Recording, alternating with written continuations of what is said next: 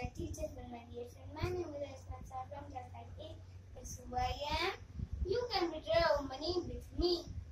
I can save your time, money and energy. I have a monitor and buttons. Yes! I am ATM. Automatic